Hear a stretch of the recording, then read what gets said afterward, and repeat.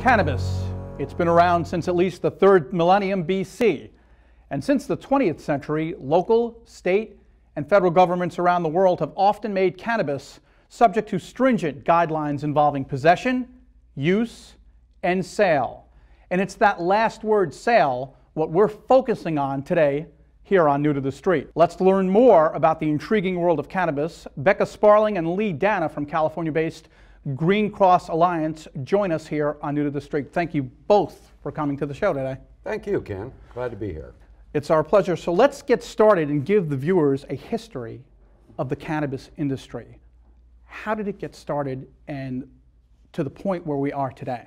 I think it really started in 1996 when California was the first state to adopt a medical marijuana uh, approval.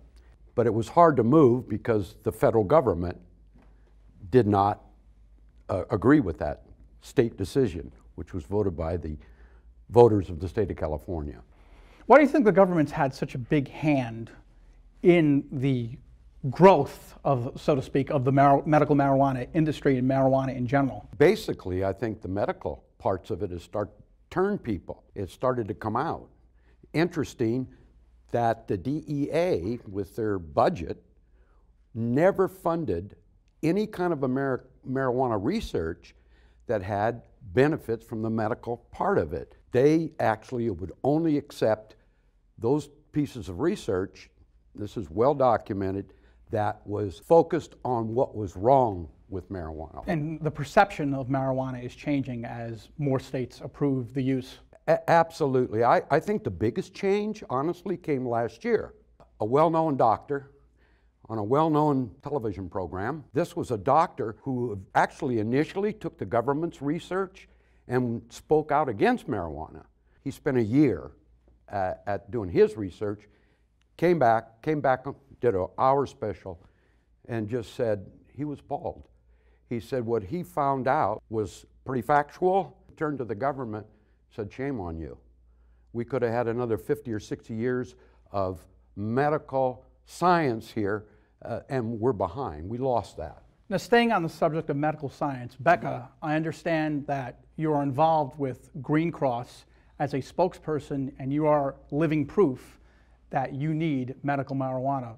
Yeah, that, that's Tell me correct. about it. Well, I have I have epilepsy, and I use medical marijuana for. Um, that's all that I use for every day to control my seizures and control my epilepsy. Basically, my seizures were going. I was having multiple a day. I haven't had one for seven months now, and function a lot better every single day by having medical marijuana than I did being on the doctor's medicines. And to those in the community or who are watching this program right now who might say medical marijuana is a farce, it's not necessary, it's not real, what do you want to say to them? I want to say that it is real and that it's a real help. I never thought that I would epilepsy would control my life, and I didn't realize that I would become a basically disabled and not able to work in anything anymore because of my epilepsy. And now with having cannabis, I am I don't have to suffer from any of those things anymore. Lee, what is Green Cross's niche in the industry? Uh, our focus is medical marijuana. We've put a company together that basically that's why the alliance. The alliance is to not only products but procedure, health issues, how to promote and educate the dispensaries and everybody else. So everything is medical marijuana. We have a doctor's panel, uh, we have a scientist panel, we have a senior care panel, we have an epilep- epileptic panel, which uh, Becca here is uh, going to chair for us. So we take all of this and make sure we package it and deliver the product. So we develop our products, brand them, take them to the alliance, and they uh, basically uh, we have a program for them. And we're talking about the alliance. Explain what that is. The alliance is, I, I guess I would call it a medical marijuana developing uh, and distribute it. They not only get the medical marijuana, there's incentive for them to have promotions, etc.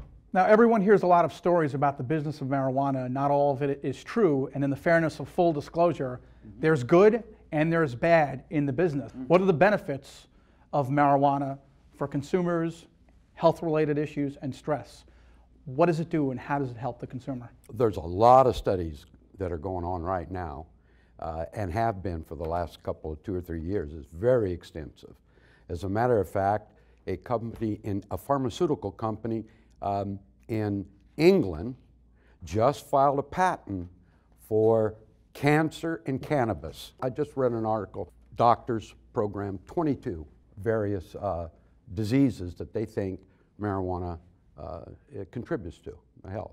It's revolutionary what marijuana has done for people who are in dire straits when it comes to their health.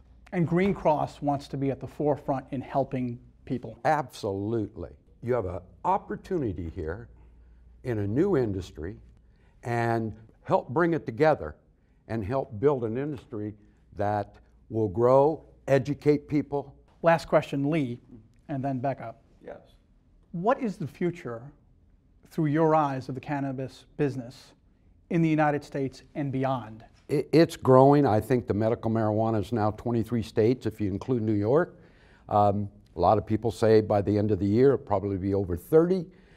I don't think there's a question about it in my mind. It's a matter of education and time that medical marijuana will be available throughout the states and eventually it'll be legal.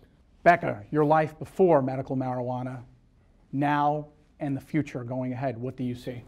I just, I really hope to help a lot of people. I hope that it can benefit more epileptics and, and more just people suffering from different ailments in general. And I, I just would love people to be able to be functioning every single day and to, to be aware of this and to know that there is something natural that can help them and they don't have to go through all the different pills and things from doctors. Becca, Lee, thank you very much for joining us here on New to the Street. We hope you come back and give us an update on Green Cross and how the company is dealing with medical marijuana going forward. We love to come back.